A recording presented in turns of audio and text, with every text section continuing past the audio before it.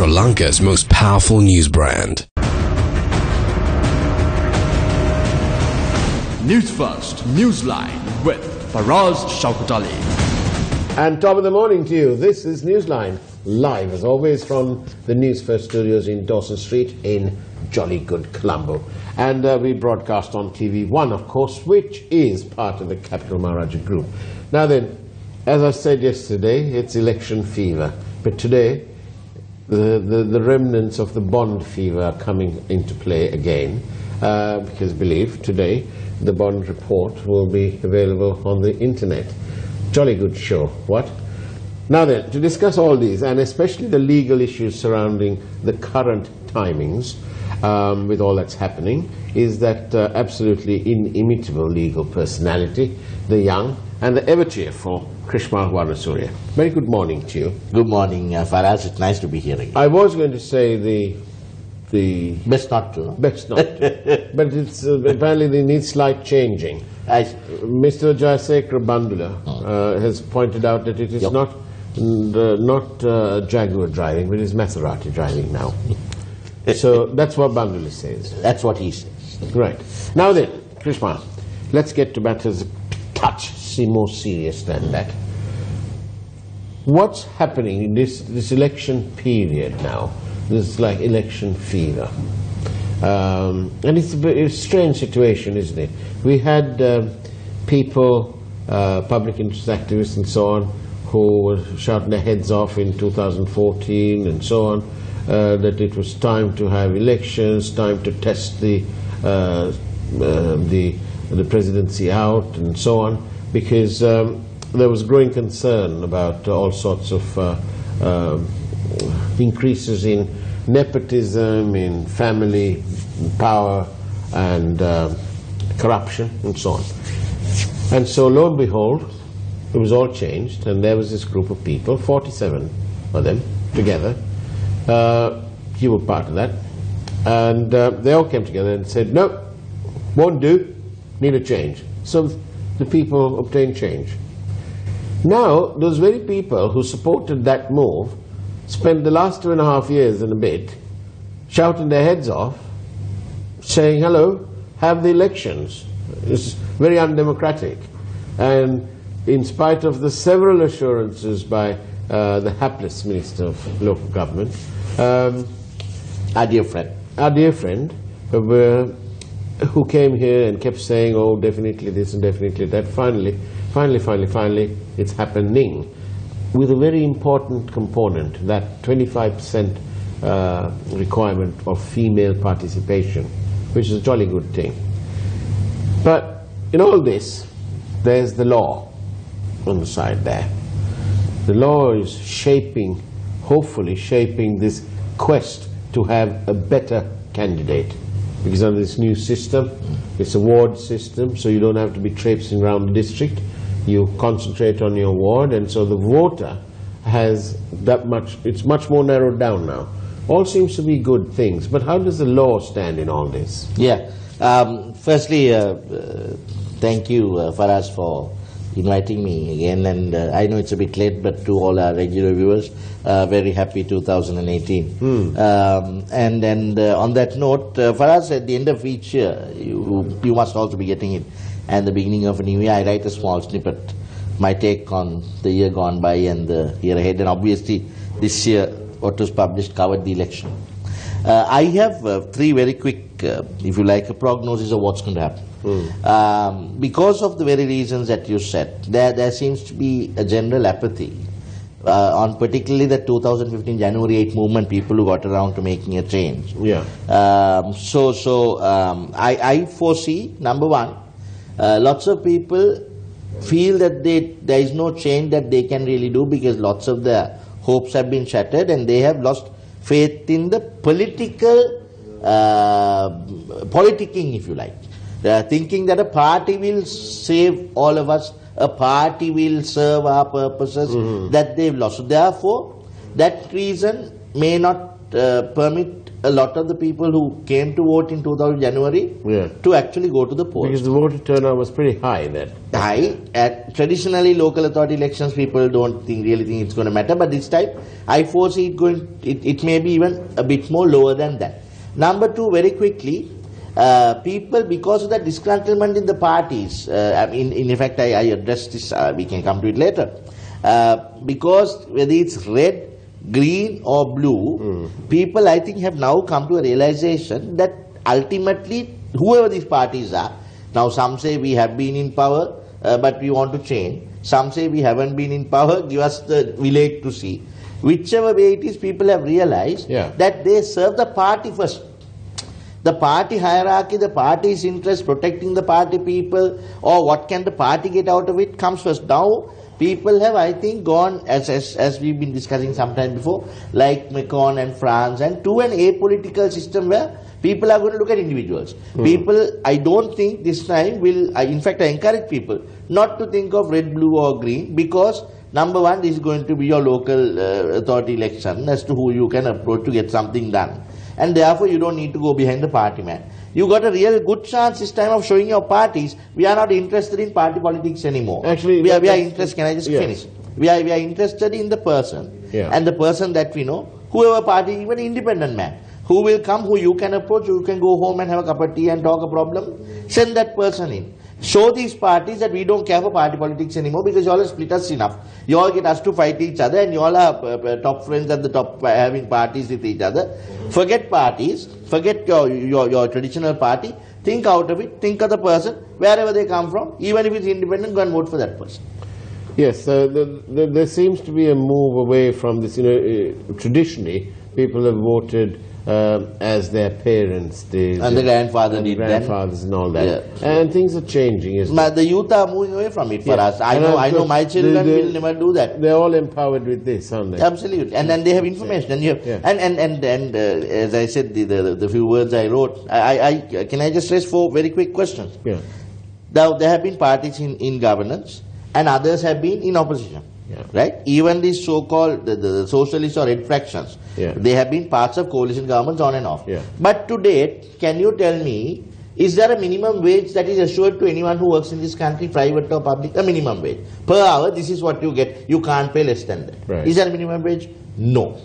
Is there, uh, is there an education system where some of us who are privileged enough because we were born in Colombo or because our parents could afford it were sent for private education. Right. At the same time, there are uh, children, poor children out there. Yesterday I saw on the news the roof uh, bearing down on them. The girls and boys have to share one single toilet. Some don't even have a proper toilet and water. And did you watch that clip where the, where this classroom was all made Yeah. out of uh, plastic? That's sheets? right. So, so, so number two, education. Have you been entitled, have your child or children across the country been entitled to a proper system of education, right? Health service. Why is it the same doctor that uh, shouts and chases you off and sometimes without a bed puts you on the floor in general hospital uh, from 8 to 4, treat you with a nice cup of tea and a smile at 5 o'clock when you go and pay for them at a private hospital? Same doctor, same patient, same sickness. Why is the difference? Number four, transport. Why are only now some, some people are saying no for us after this so-called good governance came in that they were not going to go in entourages chasing everyone else off the road. Why do you think that some some uh, some politician who possibly has much less things to do than you deserves to go with an entourage of vehicles shouting all of us, screaming all of us off the traffic? Whilst you and I have to get stuck in traffic for for two two and a half hours. Say poor man coming to work uh, in a bus On flyovers that hardly on, work. On flyovers that hardly work. So you think whether your political party, the green, red or blue that have been a coalition or in governance or whoever, No, you- that you can I just Yes. finish? sir? That you have voted for, have they delivered? That's all you have to ask. You being part of a political party and running behind them for their rallies and going and uh, showing them how big they are Hmm. and lifting their egos at a platform, have they served you? No, if not, not- you don't need to go behind the political parties anymore. Uh, you live sort of Devalish, don't you? Uh. Yes. So do you, On weekdays, weekends Right. I go back. Do you do you have reason to use the uh, flyover on Devala? Uh, the Dehiwala one or the, the, the? Dehiwala. Yeah, yeah, yeah. You do. But it's a bottleneck. Yes, so that, that's my point. I'm sure because I live a little bit on the other side as well, and I have not noticed the traffic in the morning. You have just shifted the block from one point A to point B. You just shifted the traffic back up towards Hotel Road. now. Yeah. Yeah. Um, So, so that's just one example. That's what I'm Yes, trying it's to only tiny example. Yeah, but- tiny example, but what I'm trying to say is the, the policy makers that, that you appear to have been sending at whatever level of governance, Yeah. whether it's state level, at provincial council level, or at local authority level, have not been delivering. Hmm. Now, if that have not been delivering, why? Because our country has been split among green, blue, and red party politics. Even if our fellows don't, uh, that old singer saying, "Ape gona, apito honda." Hmm. And I'm saying, don't don't worry about ape gona. Find a non-gona from a party that your grandfathers have not been voting for, but a person that you can rely. Get away from party politics. That's the bane of our system. Well, there you are. Uh, a, a big mouthful there. um, Early morning. early morning. Now then, today, of course, is the day, Krishna, when the Bondgate report is out. Yeah. I'm sure everybody's saving their datas Yeah. and waiting for somewhere for us to come. You know, perhaps a news first alert saying Bond report out on the internet, www. So and so named and shamed. Yes, but everybody will be going like that, and I, I predict there'll be uh, all our data signals. I predict are going to be uh, kind of jammed for a bit. Yeah. Now then, a very interesting point. One of my researchers has pointed this out. Mm. God bless her. Mm. This bond report, this commission was asked, was given a term, right? From 2015 to the 31st of March mm. 2016. That is the date that this commission is looking up to. But I want to point out that Arjuna Mahendran, the governor, then governor, actually he finished office on the 30th of June 2016. Mm. So that's 31st of March. Mm. That's when the, the period of the commission. April, May, June. Three clear months beyond the remit of the commission. Now then, here's a little thing. Now they've told us about the profits and whirlwind profits and so on that perpetual treasuries made and so on, okay? And the losses Yeah, yes, of the on. EPF. However, what isn't said is that in that three months, that means from April, May, June 2016, the same company made profits of 6 billion rupees. 6 billion rupees, which is obviously not going to be looked at. Yeah. So I just like to point out. So, so quick answer to that, Faraz, Yes. is just the Bond Commission report may uh, incorporate that time period within which they investigate and they gave a report. Hmm. But the investigations that, that subsequently or the, the prosecutions that subsequently come up don't need to be limited to the Bond Commission report. Right. Because uh, the, the law in this country is not based upon the Bond Commission report. Bond Commission report was something that the, His Excellency the President wanted investigated Yeah. under the Commissions of Inquiry Act. But the, the, the now, if, if, if, if during the bond commission report some irregularity has been uh, pointed out, that can also be prosecuted by the the CID or the FCID or the Attorney General if they want to file indictments.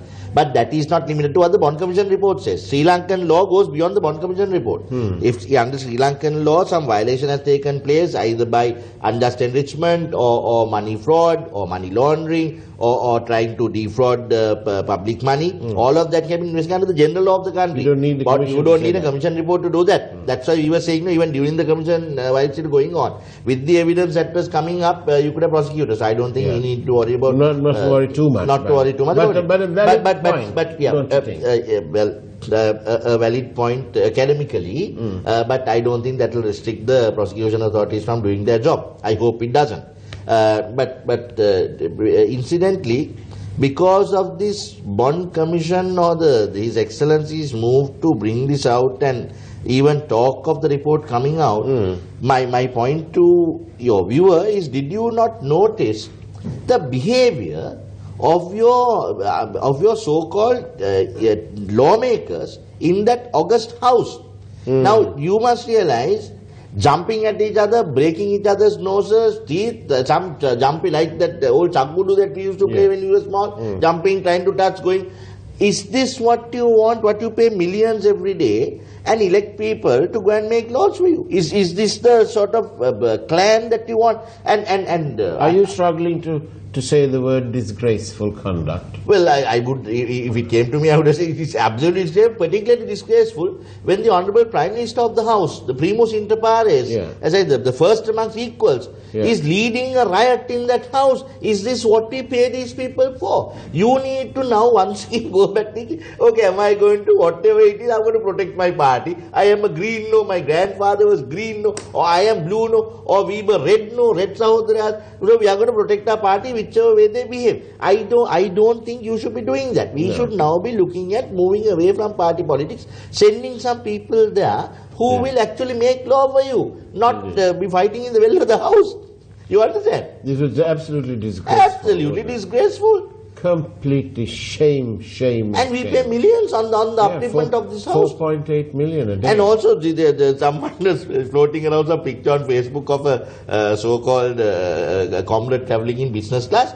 Yes, that's right. Yeah, I mean, these these fellows actually get free business but, class yes, but, but I thought, uh, Chrishmal, to myself, when I saw that image Yeah. um, of this comrade on there, right, I thought to myself, well, I'm sure if we ask him, I was tempted Mm. to contact them, and I thought, what's the point? Because they'll just say No, that no, he wasn't paid by them. Yeah, exactly. That's not, you're paying for it. The taxpayer is paying for that business class travel for all parliamentarians, their breakfast, their lunch, the Prado intercoolers or whatever that they travel around in, whisking us off all the road. Apparently, they have bet more important things to do than you and I. So But we have to in yes, now- Yeah. now then- Yeah, Can I just yes, quickly finish? yes, yes. So all of this is funded by you, millions funded by you for the, including the electricity bill and for the wife or wife to go shopping also with the driver is funded by you if they are a minister. Now, are you getting your money's worth for it? Now, a regular viewer Yeah. named Peggy has sent me a couple of messages already. I can't. I don't think I can read the first one out because it will uh, Yeah. break the election rules. Okay, Yeah. but the second one is even more potent. Yeah. It says, "Let's get the rogues arrested Hmm. and deal with the nitty gritty later." Yeah. Don't you think that's a sound idea? Yeah, sound idea. Get, let's Isn't get the rogues away, but we've been saying that for a long time. Yes, but now, uh, whilst you were saying all this, you know, about uh, the business class of this uh, Marxist uh, comrade, right? Not Uh, just him. No, no, not just him, but that- everyone that- that- travels on business class at yours and my expense. Exactly. And um, that'll bring us nicely to Sri Lankan Airlines in a second. But I just wanted to say that we mustn't forget that yesterday we had reports, I think we carried on the news actually, um, of, of some abusive system by the former president. Uh, and, uh, and all of the speakers and so on got confiscated. The police came and took them away because they'd broken some law. Uh, This, is, this seems to be all lawlessness carrying on, and everybody's just doing it and hoping for the best. Hang on, lawlessness is only for those with political office. Yes. That's what the common man is trying to say. Talking on the law, let's just quickly touch on the judiciary also. It's Yeah. not fair. No? I touched on the doctors and hospital judiciary also.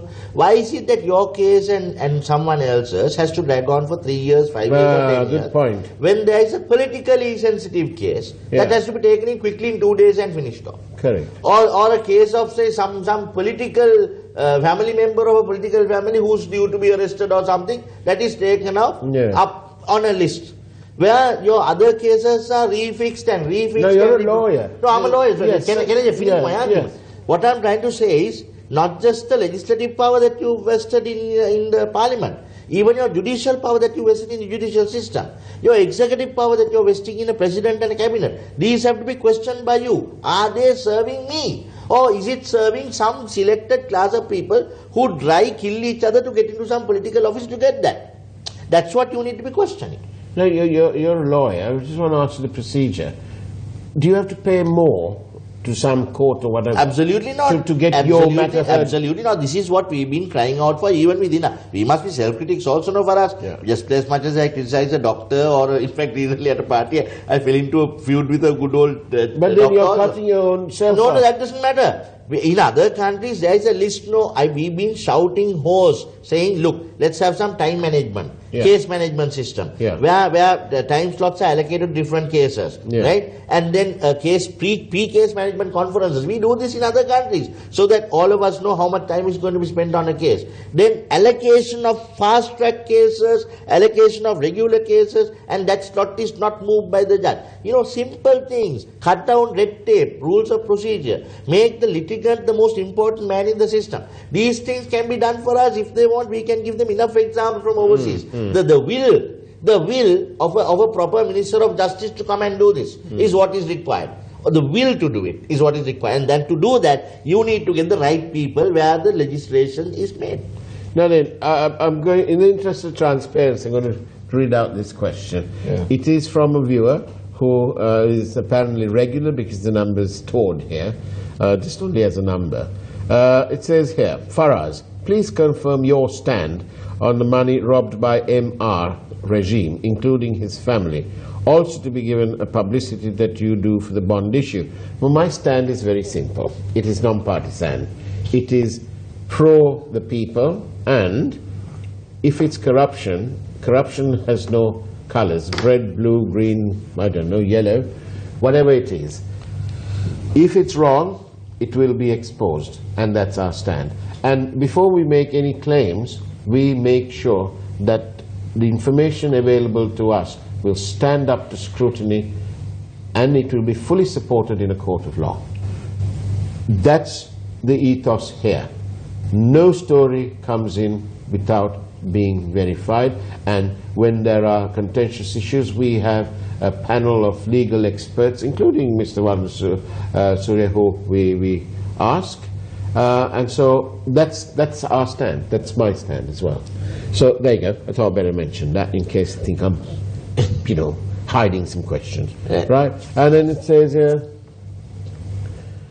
Um, Prime Minister says nothing is lost as more than 11 billion is still held by the central bank.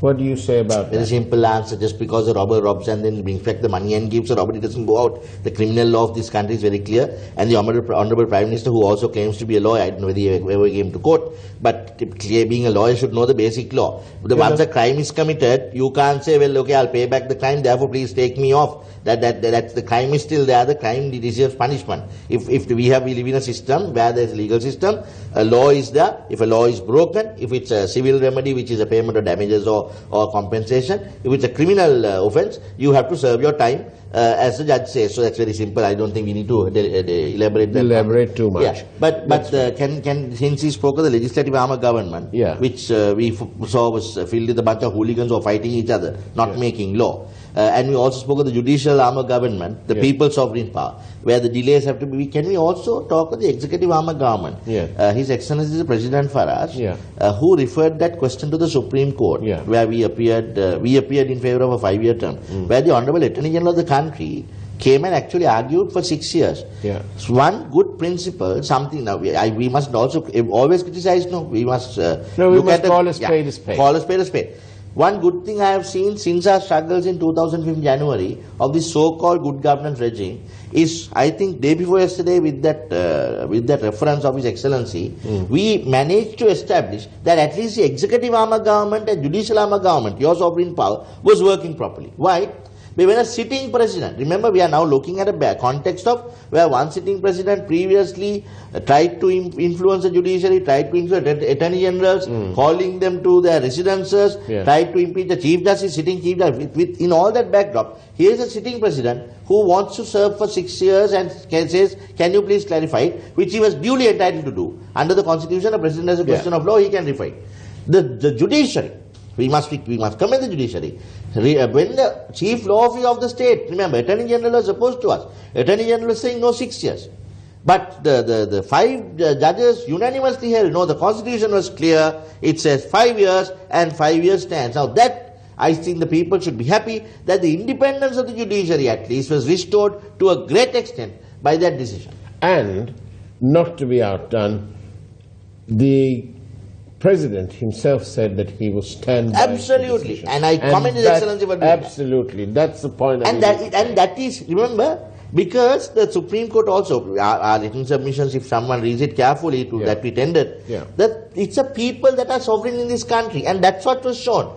The president also serves at the will of the people. Yeah. The judiciary also serves the sovereign judicial power of the people. Now the people have shown that we are much more powerful than these three organs of government.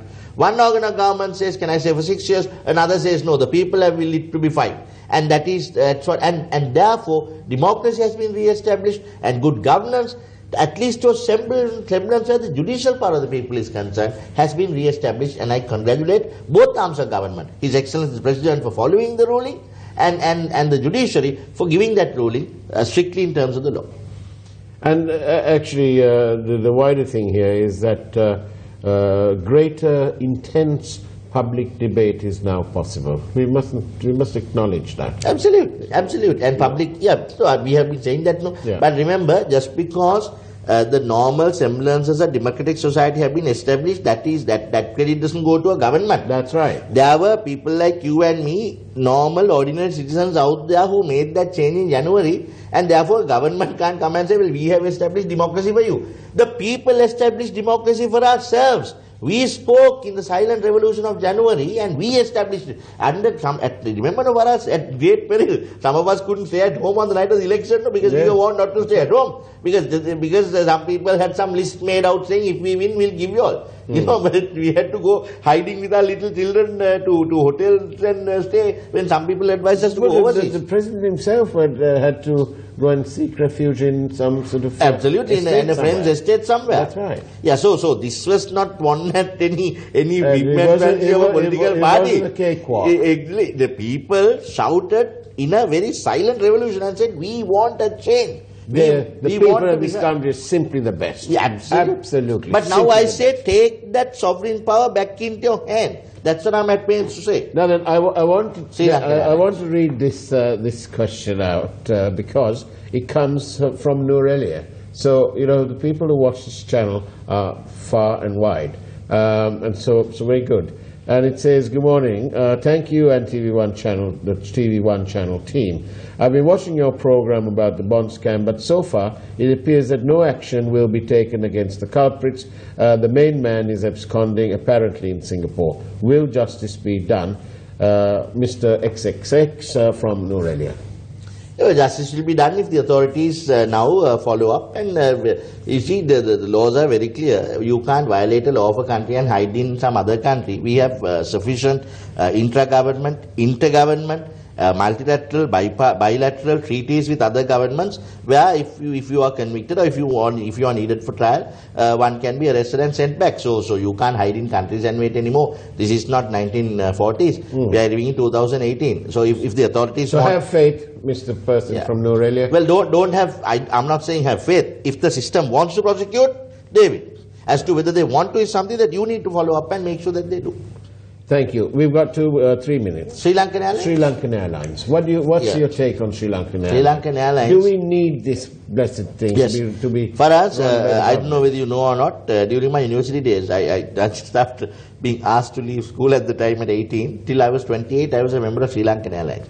I flew. Oh. I flew in the crew, Oh. and that's how. Yes, whilst I was in university and my, finishing my law education, I was. I was a Is that how you pay for your law education? Very good. Yeah, well, anyway, the point I'm trying to make is we had only four aircraft, two of them, one of the oldest in the Lockheed TriStar range. Oh, yeah. But with the four aircraft, Was we kept that Lanka lion flag, yeah, Air Lanka, then I was also part of the transitioning Sri Lankan.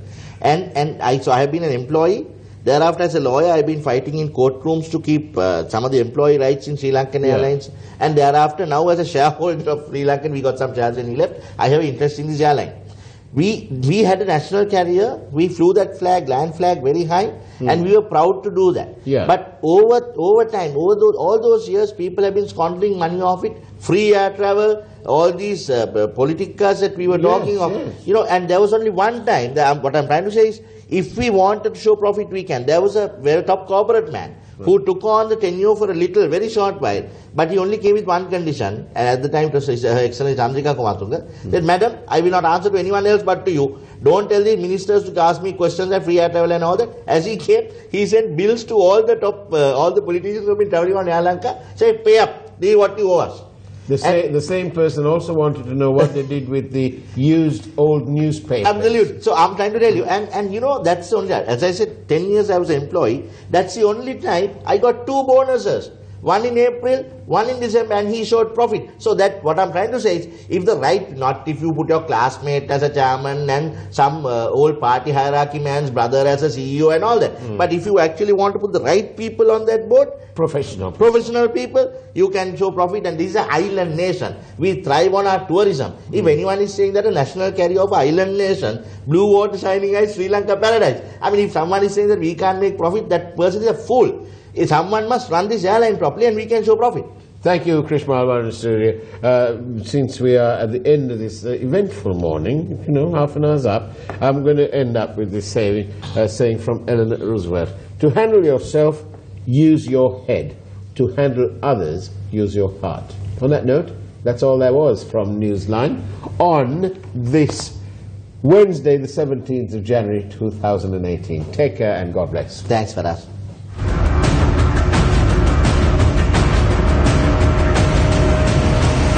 News First, Newsline with Faraz Shaukat Ali.